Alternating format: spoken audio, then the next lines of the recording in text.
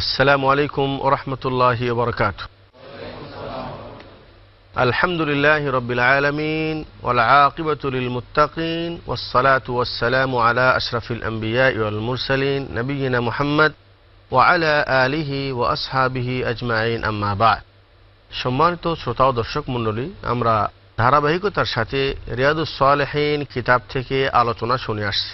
আজকে আমরা যে বিষয় নিয়ে আলোচনা করব, সেটি হলো বাবু মা ইয়াকুলু ইদা রাকিবা দাব্বাতান লিসফর মুসাফির যখন সফরের উদ্দেশ্যে কোনো সওয়ারিতে সে যখন সওয়ার হবে তখন কি দোয়া পড়বে সে দোয়া সম্পর্কে আমরা জানবো ইনশাআল্লাহ তাআলা এ বিষয়ে সূরা জুখরুফের বারো এবং তেরো নম্বর আয়াত আল্লাহ তাআলা বলছেন وجعل لكم من الفلك والأنعام ما تركبون لتستووا على ظهوره ثم تذكروا نعمة ربكم إذا استويتم عليه وتقولوا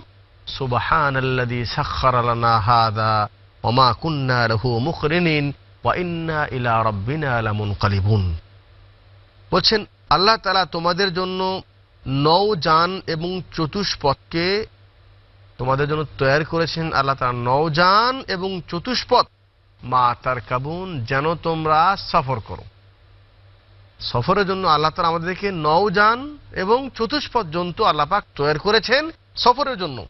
লিতাস্তাবু আলা দুহুরিহা যেন তোমরা তার পিঠের উপর তোমরা কি করো? মজবুত সহকারে বসো। এবং তার পিঠের উপর যখন তোমরা যেন সওয়ার হও, সুম্মা তাদকুরু নিয়ামত রাব্বিকুম, এবং তোমরা তোমাদের প্রতিপালকের নিয়ামতকে তোমরা স্মরণ করো।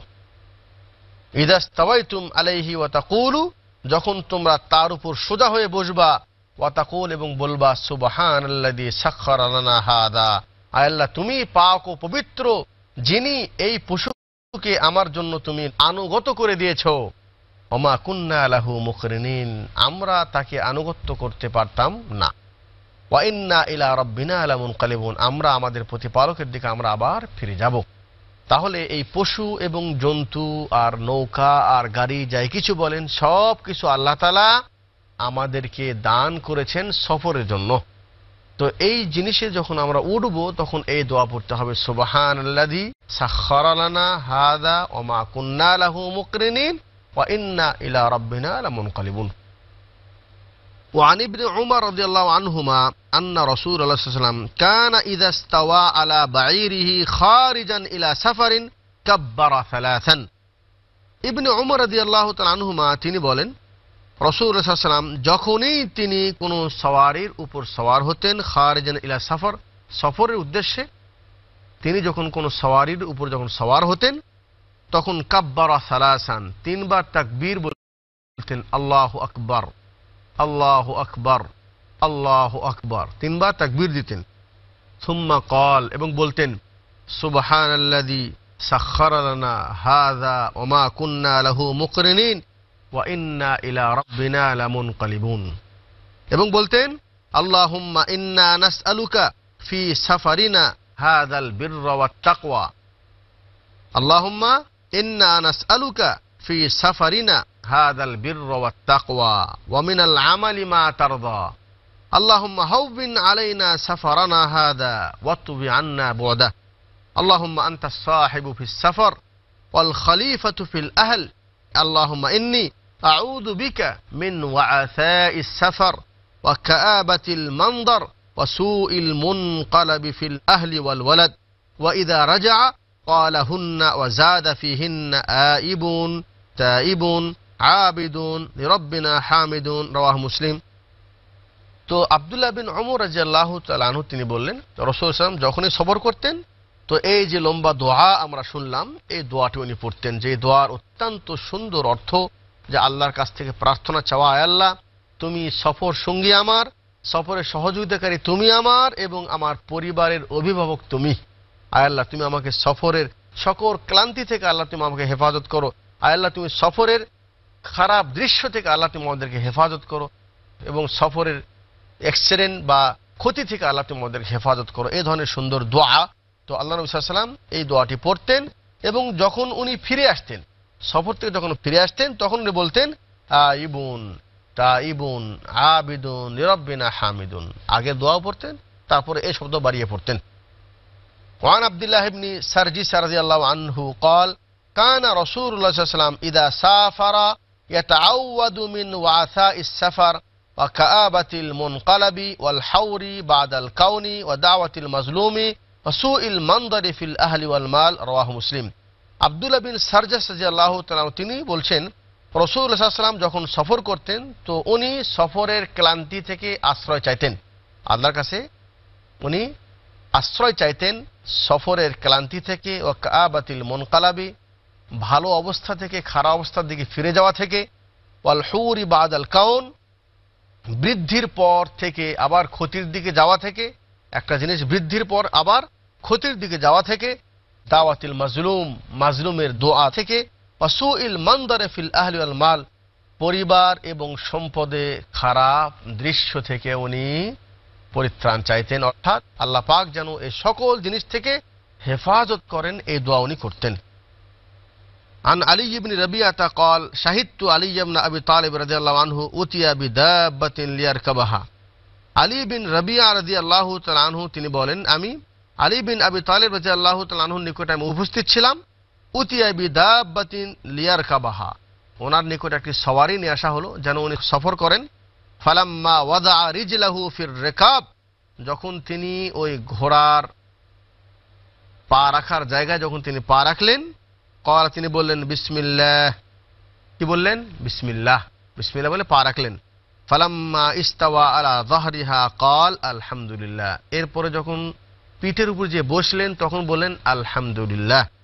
সুম্মা কল সুবহান আল্লাদি সাক্ষরনা হাদা ওমা কুন্না লাহু মুকরিনিন ও ইন্না ইলা রব্বিনা লামুনকালিবুন। এটা বলার পর সুম্মা কল, এরপর বললেন, আলহামদুলিল্লাহ সালাসা আলহামদুলিল্লাহ আলহামদুলিল্লাহ আলহামদুলিল্লাহ। সুম্মা কল, আল্লাহু আকবার সালাসা মাররাত। আল্লাহু আকবার আল্লাহু আকবার আল্লাহু আকবার। তিনবার। সুম্মা কল, সুবহানাকা ইন্নী যালামতু নাফসি। ফাগফিরলি ইন্নাহু লা ইয়াগফিরু যুনুবা ইল্লা আনতা। সুম্মা দাহিক। ছিলেন কেন? কি কারণে? আলী রাদিয়াল্লাহু তাআলা তিনি একটু মুস্কি হাসি দিলেন। ফাকিলা, ওনাকে বলা হলো, ইয়া আমির আল মুমিনিন, হে মুমিনদের আমির, মিন আই শাইইন দাহিকতা। আপনি হাসলেন কেন? কি কারণে? কল তিনি বললেন, রাআইতুন নবী সাল্লাম ফাআলা কামা ফাআলতু সুম্মা দাহিক। বলছেন, আমি নবী করিম সাল্লামকে ওই করতে দেখেছি, যা করতে তোমরা আমাকে দেখলা।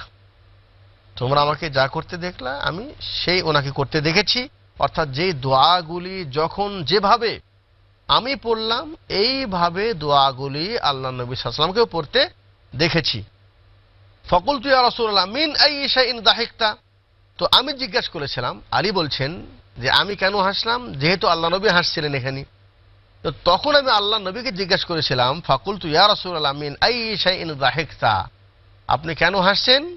কল, তিনি বললেন, ইন্না রব্বাকা তাআলা ইয়াজাবু মিন আবদিহি কল যে আল্লাহ তাআলা, উনি, ওনার কোনো বান্দা যখন এই কথাটি বলে, তখন আল্লাহ তাআলা অত্যন্ত খুশি হন। কি কথা?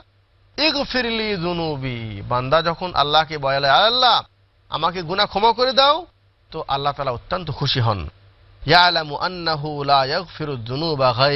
বলছেন, বান্দা যখন এই কথা বলে, আয় আল্লাহ, তোমাকে মাফ করে দে। আর বান্দা যখন এটাও বিশ্বাস করে যে আমি ছাড়া তাকে কেউ মাফ করতে পারবে না। এই বিশ্বাস নিয়ে, আয় আল্লাহ, তুমি ছাড়া আমাকে ক্ষমা করার কেহ নেই। এই বিশ্বাস নিয়ে, আকিদে নিয়ে যখন আল্লাহর কাছে যে বলে, আল্লাহ আল্লাহ ফিরিলি আয় আল্লাহ, আমাকে ক্ষমা করে দাও। তো আল্লাহ তারা তখন ক্ষমা করে দেয়। তো এই কথা শুনে আমি হেসেছিলাম তো আলী রাজি আল্লাহ তালানহ তিনি বললেন যে আল্লাহ নবী যেভাবে যেই জায়গায় হেসেছিল, আমিও ওই ওই জায়গায় ওইভাবে হাসলাম। এরপরে যেটা অধ্যায়, সেটা হলেই, বাবু তাকবীর মুসাফিরি ইদা সাইদা সানায়া ওয়া শিবহাহা ওয়া তসবিহু ইদা হাবাতাল আউদিয়া। বলছেন, মুসাফির যখন কোনো উঁচু জায়গায় উঠবে, তখন আল্লাহ আকবার বলবেন। আর যখন কোনো নিচে জায়গায় নামবে, তখন বলবে সুবহান আল্লাহ এ বিষয়ে عن جابر رضي الله عنه قال كنا إذا صعدنا كبرنا وإذا نزلنا سبحنا رواه البخاري জাবের রাজি আল্লাহ তিনি বলেন যে আমরা যখন কোনো উঁচু জায়গায় উঠতাম কাব্বারনা আল্লাহ আকবার বলতাম ওয়াইদা নাজালনা সাব্বাহনা আর যখন নিচে কোনো জায়গায় নামতাম তখন সুবহানাল্লাহ বলতাম সম্মানিত শ্রোতা ও দর্শক মন্ডলী আমরা সফরের আদব সম্পর্কে আলোচনা শুনে আসতেছিলাম এই মুহূর্তে ছোট্ট একটি বিরতি। বিরতির পর এ বিষয়ে বাকি আলোচনা নিয়ে আবার আপনাদের সামনে উপস্থিত হব ইনশা আল্লাহ তাআলা।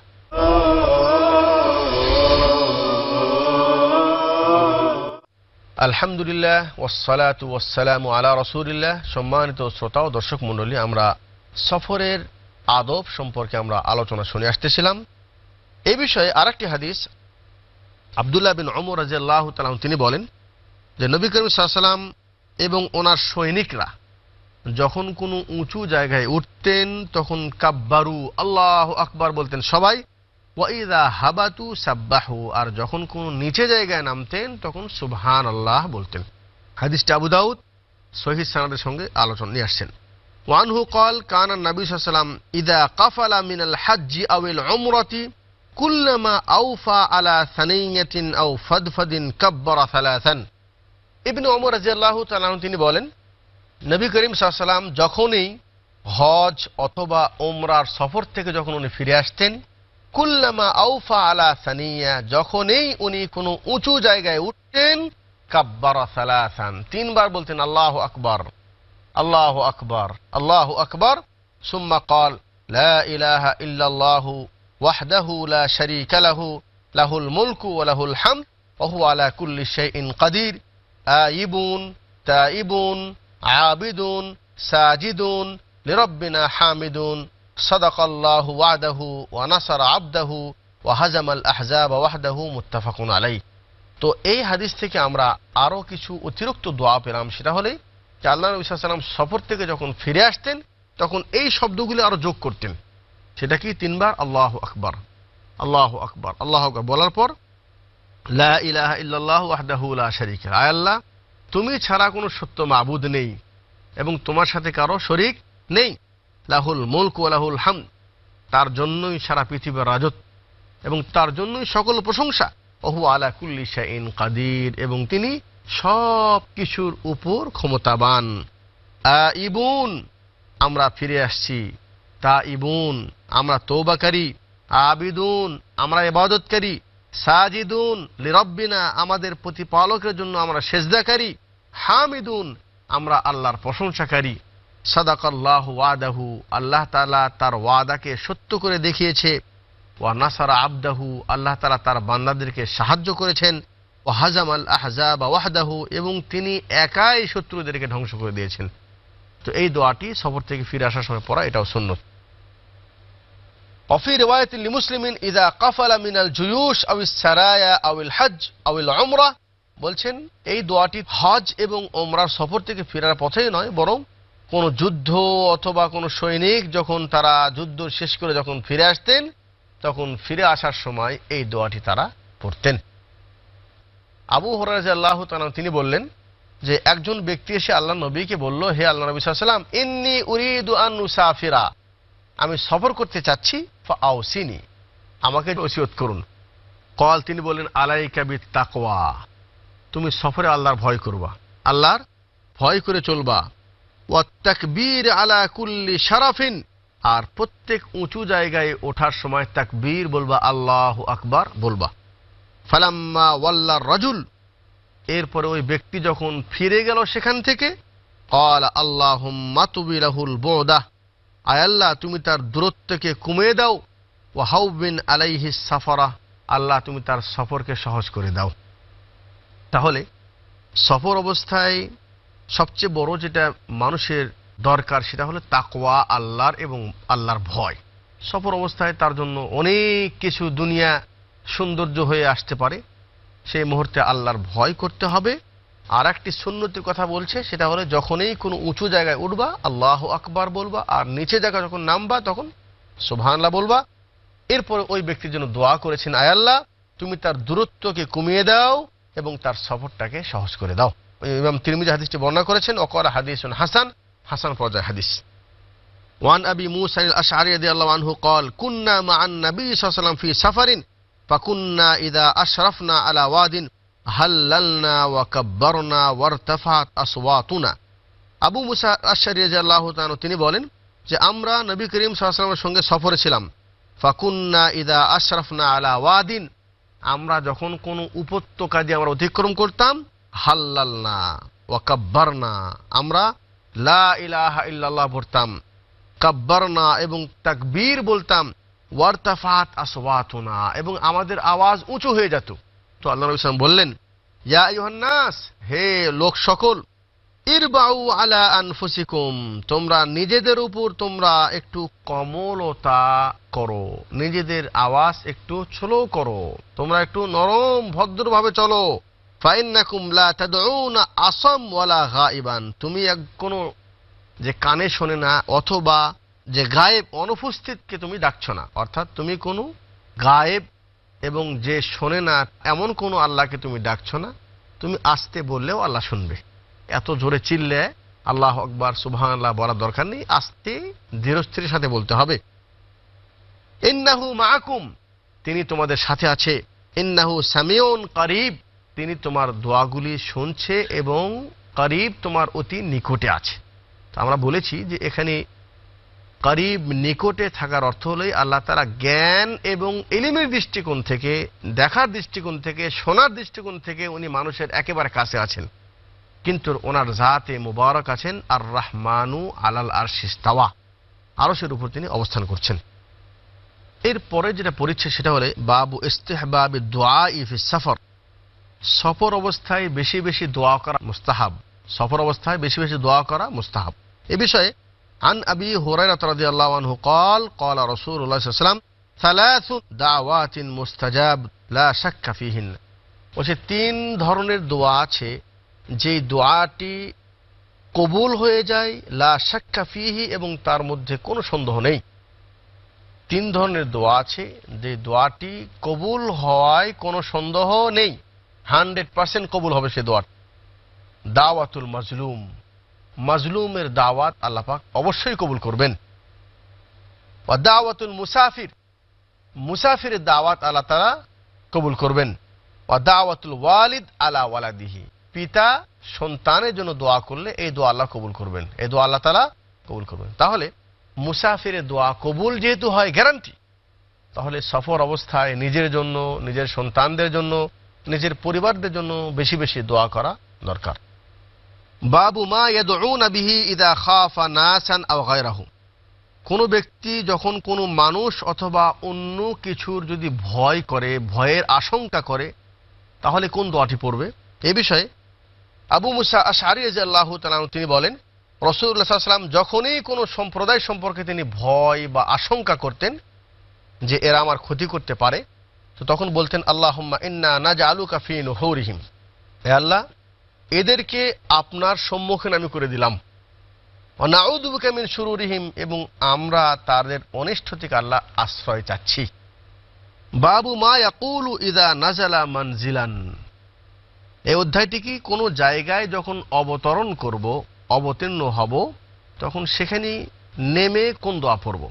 যখন আমরা কোনো জায়গায় অবতরণ করব সেখানে আমাদের করণীয় কি এবং সেখানে কি করব? এ বিষয়ে عن خولة بنت حكيم رضي الله عنها قالت سمعت رسول الله صلى الله عليه وسلم يقول من نزل منزلا ثم قال أعوذ بكلمات الله التامة من شر ما خلق لم يضره شيء حتى يرتحل من منزله ذلك رواه مسلم খাওলা বিনতে হাকিম রাজি আল্লাহ তালা আনহা তিনি বলেন সামিয়তু রসুর আল্লাহ সাল্লাম আমি রসুর আল্লাহ কাছ থেকে শুনেছি একুল তিনি বলেন মান নাজালা মানজিলান যে ব্যক্তি কোনো জায়গায় অবতরণ করবে, সুম্মা কল, এরপর বলবে আউদু বিকালিমাতিল্লাহি তাম্মাতি মিন শাররি খালাক। এই দোয়া যদি কেউ পড়ে, কোনো ব্যক্তি কোনো জায়গায় অবতরণ করার পর যদি এই দোয়াটি সেখানে যে পড়ে, বলছে, লাম ইয়াদুর রুহু সাই ওন হাত্তায়ার তাহিলা ওই জায়গা থেকে সফর করা পর্যন্ত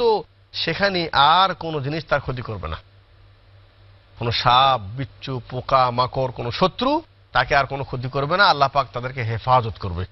বাবু ইস্তেহবাবি তাজির মুসাফির আর রুজু ইলা আহলিহি ইদা কাজা হাজতাহু। বলছেন, মুসাফিরের দ্রুত তার পরিবারের নিকট ফিরে যাওয়া যদি সফরের কাজ হয়ে যায়, যেই উদ্দেশ্যে সফর করা হয়েছে, এই কাজটা যখন মিটিয়ে যাবে, তখন দ্রুত পরিবারের কাছে ফিরে যাওয়া এটা সুন্নত। এ বিষয়ে عن أبي هريرة رضي الله عنه أن رسول الله صلى الله عليه وسلم قال السفر قطعة من العذاب বলছেন সফর এটি আজাবের একটি টুকরা সফরটিও আজাবের একটি টুকরা ইয়ামনাউ আহাদাকুম তাআমাহু ওয়া শারাবাহু ওয়া নাওমাহু বলছেন সফর তোমাদেরকে খাওয়া থেকে বিরত রাখে পান করা থেকে বিরত রাখে ঘুম থেকে বিরত রাখে সফর অবস্থায় ঠিকমতো মানুষ খেতে পারে না ঠিকমতো পান করতে পারে না ঠিকমতো শুইতে পারে না। ফাইদা কাদা আহাদুকুম নাহমাতাহু মিন সাফারিহি। যখন তোমাদের মধ্যে কোনো ব্যক্তি তার সফরের কাজ যখন মিটিয়ে যাবে, ফলে ইউআজ্জিল ইলা আহলিহি, সে যেন তার পরিবারের কাছে দ্রুত ফিরে যায়। বোখারি, মুসলিম হাদিস। অর্থাৎ সফর মানুষ প্রয়োজনে করে। প্রয়োজন মিটে গেছে, ফিরে যাবে। কারণ সফর হলো কষ্ট। সে যে অবস্থায় থাকুক না কেন, সফর মানেই কষ্ট। বাবু ইস্তিহবাবিল কুদুম আলা আহলিহি নাহারান ওয়া কারাহাতিহি ফিল লাইল লিগাইরি হাজাতিন বলছে সফর থেকে যখন ফিরে আসবো তখন দিনের বেলা ফিরে আসা সুন্নত عن جابر رضي الله عنه أن رسول الله صلى الله عليه وسلم قال إذا أطال أحدكم الغيبة فلا يتركن أهله ليلا জাবির রাজিয়াল্লাহু তাআলা তিনি বলেন রসুল্লাহ সাল্লাম বলেছেন তোমাদের সফর যখন লম্বা হয়ে যাবে তোমাদের সফর যখন লম্বা হয়ে যাবে লাইলান, তাহলে সে যেন তার পরিবারের কাছে রাত্রিবেলা না আসে। তার পরিবারের কাছে রাত্রিবেলায় না আসে। অফির ওয়ায়তিন আরেকটি রিওয়ায়াতে আসে, আন্না রাসূল সাল্লাম নাহা আন ইয়াতুরুকা রাজুলু আহলাহু মুসলিম, আরেকটি রিওয়ায়াতে আছে আল্লাহ নবী সাল্লাম বলেছেন যে কোনো ব্যক্তি যেন সফর থেকে ফিরে রাত্রিবেলায় তার পরিবারের কাছে না আসে। তো এই না আসার হুকুম যেটা, এটা কোনো ওয়াজিব না। যে রাত্রিতে আসতেই পারব না, এটা নয়, বরং দিনের বেলা আসা উত্তম। উনি বলছেন কারণ রাত্রিবেলায় মানুষ আসবে, এখন তো মাসাল্লাহ কারেন্ট এবং সব কিছু আছে সেই যুগে হয়তো এ ব্যবস্থা ছিল না। আসবে, কোথায় কি অবস্থা দেখবে, ভালো মন্দ দেখার মতো তার কোনো সুযোগও থাকবে না। তো দিনের বেলা সফর থেকে ফিরে আসা, এটা শূন্য। রাত্রিবেলাও যদি চলে আসে, কোনো গুণা নয়, বরং উত্তম মোস্তাব দিনের বেলা ফিরে আসে।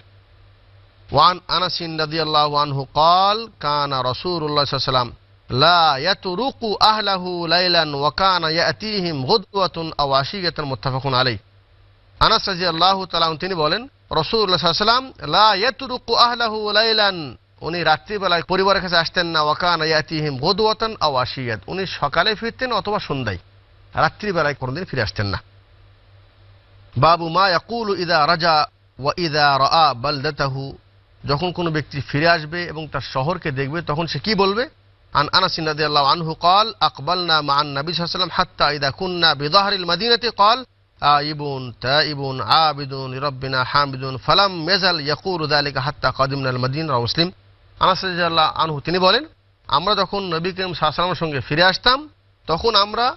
মদিনায় ঢুকতাম এবং এই দোয়া পড়তাম, আইবুন, তাইবুন, আবিদুন রব্বিনা হামিদুন, এবং এটা পড়তেই থাকতাম যতক্ষণ পর্যন্ত শহরে না ঢুকতাম। আজকের মতো আলোচনা এখানেই শেষ করছি। আল্লাহ রব্বুল আলমিন আমাদের সকলকে নেক আমল করার তৌফিক দান করুন। ওয়াখির দাওয়ানা আলহামদুলিল্লাহ রবিল আলমিন। আসসালামু আলাইকুম রহমতুল্লাহি আবরকাত